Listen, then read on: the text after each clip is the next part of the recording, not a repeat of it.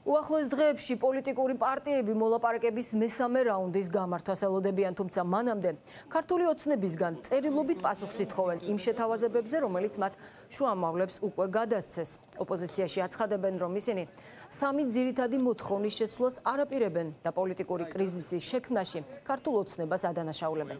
ჩემო კოლეგამ ნიკა საჯაია მოისმინა ოპოზიციის წარმომადგენლების პოზიციები და ახლა პირდაპირ ეთერში შემოგვიერთდება ნიკა გისმენთ. დიახ თამუნა როგორც ჩვენ აღნიშნე ოპოზიციური პოლიტიკური პარტიის წარმომადგენლების სამი ძირითადი მოთხოვნა არის უცვლელი ეს ეხება არჩევნების ახალი არჩევნების ჩატარებას ცენტრალური საარჩევნო კომისიის ადმინისტრაციის შეცვლას და პოლიტპატიმრების გათავისუფლებას. ოპოზიციაში საუბრობენ რომ პოლიტიკური მდგომარეობა არის ჩიხში შესული და ფაქტია რომ არის კრიზისით რომლის გამოსვლაც ახლა უკვე შეუძლია მართლ პარტიას კერძოდ კი იმ შეთავაზებებზე წერილობითი პასუხით რომელიც ოპოზიციამ უკვე წარუდგინა დიპლომატიურ კორპუსს ოპოზიციური პოლიტიკური პარტიის წარმომადგენლები ასევე დღესაც არასაჯაროვებენ კონკრეტულ დოკუმენტს თუ რა არის მასში გაწერილი, თუმცა ცნობილია რომ აქ საუბარი ერთ-ერთი შეეხება პლებისჩიტის ჩატარება, სადაც ნაწილი პარტიების განიხილავს რომ სწორედ ეს შეიძლება იყოს ერთ-ერთი გზა ვადამდელი არჩევნების ჩასატარებლად, თუმცა ოპოზიციაში ამ საკითხებზე მსჯელობა სავარაუდოდ დღესაც გაგრძელდება და პოლიტიკური პარტიის ლიდერები დღესაც შეიკრიბებიან. ოპოზიციაში ერთხმად აღნიშნავენ ასევე იმას რომ ერთობაც არის ურღვევი ძირითადად შეთანხმებებზე და ახლა ჯერი არის სწორედ მართლ გუნდზე, რომელმაც რომელსაც აქვს პასუხისმგებლობა, რომ ქვეყანაში პოლიტიკური კრიზისი დაძლიოს.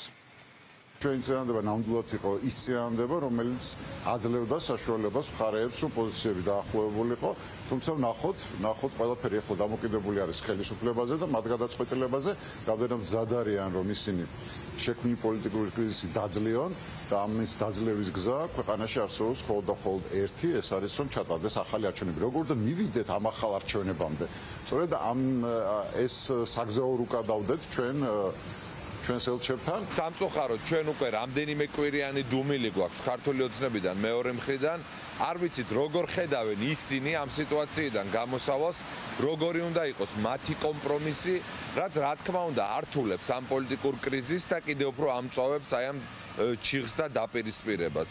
ჩვენ ამ წერილობითი მოთხოვნის წარდგენით შევქმნით დამატებითი სივრცე კონსენსუსისათვის და შეთანხმების მიღწევისთვის. საპასუხოდ გვესმის ისევ მწვავე შეფასებები, რაც ახასიათებს დამარცხებულ ერთეულებს და ადამიანებს, რომლებსაც არ უნდათ რომ გაუსწორონ რეალობას თვალი.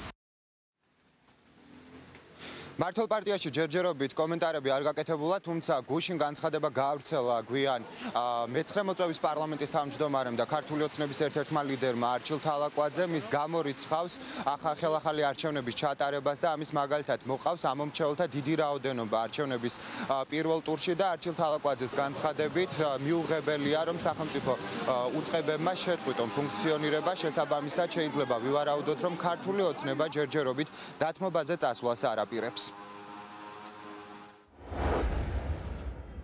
განმეორებითი არჩევნები და მასთან დაკავშირებული რაიმე საკითხი ჩვენი მხრიდან არ განიხილება და სახელმწიფო ინსტიტუტების ფუნქციების გაჩერებას არ ვაპირებთ. პანდემიის მიუხედავად 2 მილიონამდე ჩვენმა თანამოქალაქემ მიიღო არჩევნებში მონაწილეობა და უფლება არ გვაქვს ეჭქვეშ დავაყენოთ მათი არჩევანი. სხვა საკითხებზე კონსტიტუციის ფარგლებში გვაქვს დიალოგი ოპოზიციასთან და შეთანხმება შესაძლებელია, თუმცა ბოლო ეტაპი მოითხოვს მეტ ნებისყოფას და ოპოზიციისგანაც სწორ გადაწყვეტილებების მიღებას. დესტრუქციული ელემენტებისაგან თავისუფალ გარემოში. ქსურს ელჩებს კიდევ ერთხელ გადაუხადოთ მადლობა დიალოგის მხარდაჭერისთვის.